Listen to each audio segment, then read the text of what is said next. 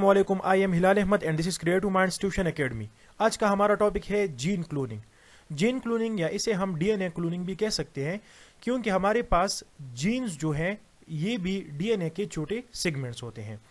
तो gene cloning में हम डीएनए के छोटे सेगमेंट को या जीन को, एक सिंगल जीन को लेते हैं और फिर उस सिंगल जीन की बहुत सारी कॉपीज बनाते हैं। तो इस प्रोसेस को हम जीन क्लोनिंग कहते हैं। क्लोनिंग टर्म यहाँ यूज़ हुआ है।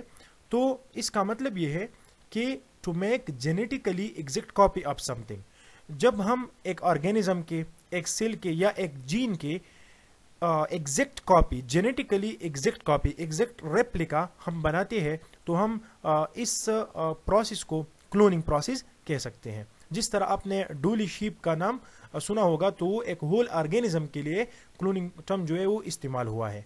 और यह हमारे पास चूँकि हम जीन जीन की कॉपीज बनाते हैं, एग्जैक्ट रेप्लिकाज बनाते हैं तो इसलिए यह जीन के लिए क्लोनिंग टर्म यूज़ हुआ है। तो gene cloning mean to make exact copy of a particular gene.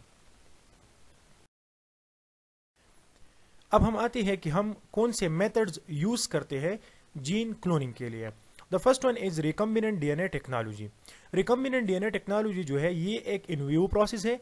मतलब ये है कि इस प्रोसेस से जब हम जीन के बहुत सारे कॉपीज बनाएँगे तो ये लिविंग ऑर्गेनिज्म के अंदर हम बनाएँगे। इनसाइड द लिविंग ऑर्गेनिज्म और दूसरा हमारे पास है पॉलीमराइज चेन रिएक्शन तो ये एक इनविट्रो प्रोसेस है। मतलब ये है कि जब हम जीन की कॉपीज इस प्रोसेस से बनाएँगे तो ये लिविंग ऑर्गेनिज्म के बाहर हम बनाएँगे।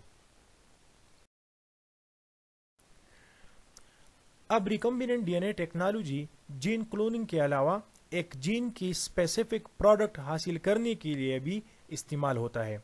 जिस तरह अगर मैं चाहूँ कि मैं ह्यूमन इंसुलिन तैयार कर सकूँ रिकम्बिनेंट डीएनए टेक्नोलॉजी के ज़रिए तो इन दोनों प्रोसेस के लिए जीन क्लोनिंग और एक स्पेसिफिक जीन के प्रोडक्ट हासिल करने के लिए, दोनों प्रोसेस के लिए ये मैकेनिज्म सेम होगा। लास्ट में थोड़ा सा डिफरेंस है, लेकिन मैं आपको वहाँ वो बता दूँगा। तो वो जो बेसिक स्टेप्स है, वो ये है। सबसे पहले cut open the plasmid and paste जो हमारा जीन होगा फॉर एग्जांपल मैं चाहता हूँ कि मैं इंसुलिन प्रोड्यूस कर सकूँ तो इंसुलिन के लिए जो जीन होगा हमारे पास, वो मेरा जीन ऑफ़ इंटरेस्ट होगा। उस जीन को मैं बैक्टीरियल प्लाज्मिड में ज़्यादातर हम यूज़ करते हैं बैक्टीरियल प्लाज्मिड इसे हम वेकल डीएनए भी या वेक्टर डीएनए भी कह सकते हैं। तो हम अपने इंसुलिन की उस जीन को वेक्टर डीएनए में इंसर्ट करेंगे। After inserting in the vector DNA हम इस तरह करेंगे कि फिर उस प्लाज्मिड को बैक्टीरिया के अंदर डालेंगे। इस प्रोसेस को हम कहते हैं ट्रांसफॉर्मेशन इसके बाद हम उस प्लाज्मेट कैरियर कैरिंग बैक्टीरिया को इसके ग्रोथ करेंगे। उसके लिए मीडियम प्रोवाइड करेंगे ठीक है? तो वो अपने नंबर में जो है वो ज़्यादा हो जाएँगे। तो जो हमारा आ, हमारा जो जीन होगा प्लाज्मिड में जो हमारा जीन होगा तो बैक्टीरियल ग्रोथ के साथ बैक्टीरियल डिवीज़न के साथ हमारे जीन का भी रिप्लिकेशन हो जाएगा। इसके साथ साथ जो प्रोडक्ट है, उस जीन के इंसुलिन है, वो भी प्रोड्यूस हो जाएँगे इनसाइड द बैक्टीरियल सेल अब हम इन स्टेप्स को थोड़ा डिटेल से पढ़ेंगे। तो द फ़र्स्ट वन जो है वो हमारे पास है cutting and pasting DNA already हमें पता है कि हमारे पास स्पेसिफिक इंजाइम्स है रिस्ट्रिक्शन इंडो न्यूक्लियाजिस जो डीएनए में एक स्पेसिफिक सीक्वेंस को रिकॉग्नाइज करते हैं, और उस स्पेसिफिक साइट को या उस साइट के इर्द गिर्द कट लगाते हैं। और इसके अपोजिट हमारे पास एक एंजाइम है डीएनए लाइगेजिस जो डीएनए की जब हम डीएनए के टू पार्ट्स को कनेक्ट कर लेते हैं सील कर लेते हैं तो डीएनए लाइगेजिस उस गैप्स को सील करके उस डीएनए के पार्ट्स को अटैच कर देते हैं। तो सबसे पहले हमारे पास क्या होना चाहिए? हमारा टारगेट जीन या जीन ऑफ़ इंटरेस्ट यहाँ हमारे पास मैं चाहता हूँ कि मैं इंसुलिन प्रोड्यूस कर सकूँ। तो हमारा टारगेट जीन जो है, वो इंसुलिन के लिए जो जीन रिस्पॉन्सिबल है, वो हमारा टारगेट जीन होगा।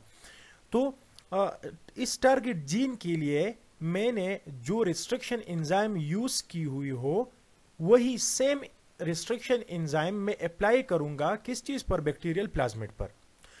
तो after cutting the bacterial plasmid at specific site मैं इस टारगेट जीन को बैक्टीरियल प्लाज्मिड में इंसर्ट कर लूँगा।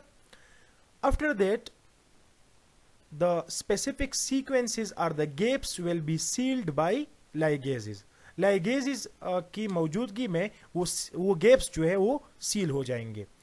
इसके रिज़ल्ट में हमारे पास जो डीएनए या जो प्लाज्मिड आया, इसे हम कह सकते हैं रिकम्बिनेंट प्लाज्मिड रिकम्बिनेंट प्लाज्मिड क्योंकि इसमें सिर्फ़ अब प्लाज्मिड की जीन्स नहीं है, बल्कि फॉरेन जीन भी इसमें है। तो इस किस्म के प्लाज्मिड को हम क्या कह सकते हैं? रिकम्बिनेंट प्लाज्मिड हम कह सकते हैं इसको। अब जब हमने ये रिकम्बिनेंट प्लाज्मिड तैयार किया तो सेकंड स्टेप हमारे पास होगा bacterial transformation and selection bacterial transformation में हम इस प्लाज्मेट को, इस रिकम्बिनेंट प्लाज्मेट को इंट्रोड्यूस करेंगे बैक्टीरियल सेल में.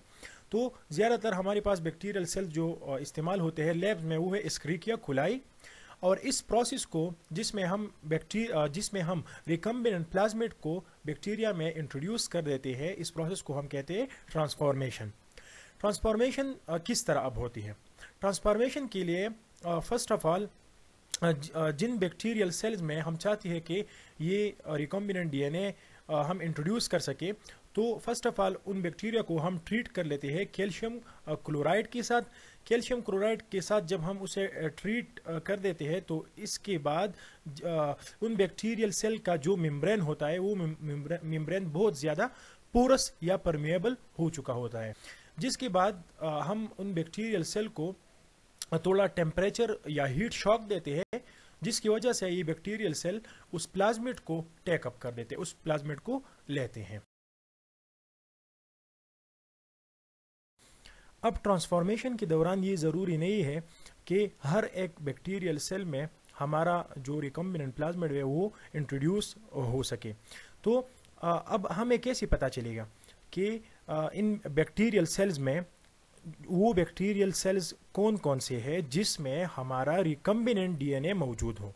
तो इसके लिए ये ज़रूरी है कि हमें पता हो कि जो प्लाज्मिड होता है प्लाज्मिड में एक एंटीबायोटिक रेजिस्टेंस जीन होता है जिसकी वजह से ये आ, ये बैक्टीरियल सेल जिसमें फिर ये प्लाज्मिड होता है तो ये बैक्टीरियल सेल फिर उस स्पेसिफिक एंटीबायोटिक को रेजिस्टेंस शो कर देता है। तो हमें तो पता होगा कि हमारे प्लाज्मिड में कौन से एंटीबायोटिक के लिए रेजिस्टेंट जीन मौजूद है। तो आ, हम इस तरह करते हैं फिर कि एक मीडियम लेते हैं और फिर उस मीडियम में उस स्पेसिफिक एंटीबायोटिक को भी डाल देते हैं जिस आ, जिस एंटीबायोटिक के अगेंस्ट स्पेसिफिक रेजिस्टेंस जीन हमारे प्लाज्मिड में मौजूद हो। तो ज़ाहिर सी बात है कि जिन बैक्टीरियल सेल में हमारे वाल, हमारा वाला जो रिकम्बेंट प्लाज्मिड है, ठीक है, वो वो प्लाज्मिड मौजूद हो जिन बैक्टीरियल सेल में तो वो ऑलरेडी इस एंटीबायोटिक को रेजिस्टेंट शो करेगा और उस पर कुछ असर नहीं पड़ेगा। और जो दूसरे बैक्टीरियल सेल है हमारे पास तो उसमें तो इस एंटीबायोटिक के खिलाफ कोई रेजिस्टेंस जिन मौजूद नहीं है तो वो किल हो जाएँगे।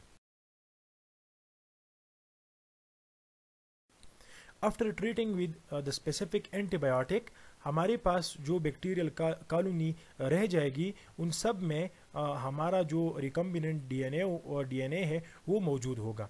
और बैक्टीरियल सेल जो अब जब रिप्लिकेट होगा डिवाइड होगा तो इसके साथ साथ हमारा जो जीन है वो जीन भी रिप्लिकेट हो जाएगा। तो इस प्रोसेस को हम क्या कहते हैं? इस प्रोसेस को हम जीन क्लोनिंग कह सकते हैं, ठीक है? जो हमारा जीन है बैक्टीरियल रिप्लिकेशन के साथ साथ हमारा जीन भी रिप्लिकेट होता जा रहेगा, होता जा रहेगा, ठीक है? तो नेक्स्ट अगर हम प्रोटीन्स की तरफ़ इंसुलिन की तरफ़ आ जाए तो ये इंसुलिन जीन बैक्टीरियल सेल में ट्रांस ट्रांसक्राइब होगा और फिर ट्रांसलेट होगा और एट द एंड हमारे पास जो है इंसुलिन प्रोड्यूस होगा। फिर हम मुख्तलिफ़ प्रोसेस इस्तेमाल कर सकते हैं इस प्रोटीन्स को इन बैक्टीरियल सेल्स से अलहदा करने के लिए। In in our lecture we will study that process इसके बाद हम आते हैं uh, इस पूरे प्रोसेस को एक uh, थोड़ा सा समराइज कर लेते हैं। सबसे पहले हमारे पास ये है Escherichia coli bacteria Escherichia coli bacterial cell में ये प्लाज्मिड है। हमने इससे ये प्लाज्मिड आइसोलेट किया। फिर प्लाज्मिड जो है, उसको कट दिया, ठीक है? इसके साथ साथ हमने ह्यूमन एक सेल लिया है, ठीक है? जिनसे हमने आइसोलेट किया डीएनए को, और डीएनए में खासकर उस स्पेसिफिक जीन को जीन ऑफ़ इंटरेस्ट जो जो कि हमने अभी लिया था इंसुलिन के लिए स्पेसिफिकली ठीक है? तो सेल सेल को हमने कट दिया with with the same enzyme ठीक है? हम यह यह जब हम प्लाज्मिड में कट लगाते हैं और ह्यूमन क्रोमोसोम में, ठीक है? तो हम इन दोनों पर सेम रिस्ट्रिक्शन इन न्यूक्लियस अप्लाई करेंगे। ताकि साइट भी जो है, वो भी एक ही काट दिया जाए। इसके बाद जीन ऑफ़ इंटरेस्ट जो हमारे पास है, हम इस जीन ऑफ़ इंटरेस्ट को इस प्लाज्मिड के साथ कंबाइन करेंगे। ठीक है? और द रिजल्टेंट जो हमारे पास जो स्ट्रक्चर आएगा, ये प्लाज्मिड को हम अब रिकम्बिनेंट प्लाज्मिड देते हैं।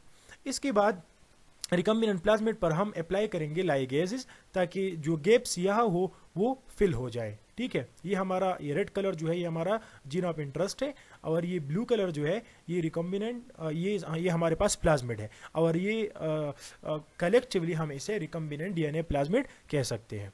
इसके बाद हम इसको इस प्लाज्मिड को, इस रिकम्बिनेंट प्लाज्मिड को हम डाल देते हैं किस चीज़ में? बैक्टीरियल सेल में by treating with calcium chloride and heat shock ठीक है? तो जब हम ये इंट्रोड्यूस कर लेते हैं इस बैक्टीरियल सेल में तो इस प्रोसेस को हम ट्रांसफॉर्मेशन कह सकते हैं। इसके बाद हम बैक्टीरियल सेल को स्पेसिफिक मीडियम प्रोवाइड कर लेते हैं, ठीक है? जिसकी वजह से ये भी एक बैक्टीरियल सेल जो है, ये रिप्रोड्यूस प्रोड्यूस एंड रिप्रोड्यूस बार बार जो है, ये रिप्लिकेट होता जाता रहता है। तो हमारा जो जीन ऑफ़ इंटरेस्ट है, ये रेड कलर वाला जीन तो अगर आप देखें तो एवरी बैक्टीरियल सेल में या एवरी बैक्टीरियम में हमारा जो जीन होता है, वो जीन रिप्लिकेट होता जा रहा होता है, ठीक है? ये देख लें। तो this is all about today's lecture in next हम स्टडी करेंगे कि हम फिर किस तरह इस स्पेसिफिक प्रोटीन्स को इन बैक्टीरियल सेल से अलहदा कर सकते हैं। अगर आपने अभी तक हमारे चैनल को सब्सक्राइब नहीं किया तो प्लीज़ हमारे चैनल को सब्सक्राइब करें ताकि हमारी भी हौसला अफजाई हो।